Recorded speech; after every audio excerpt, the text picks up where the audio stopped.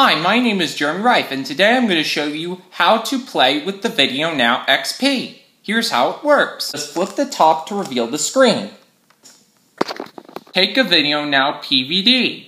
Put the PVD in the slot. Close the lid. Press A and the play button at the same time. And now the PVD is loading.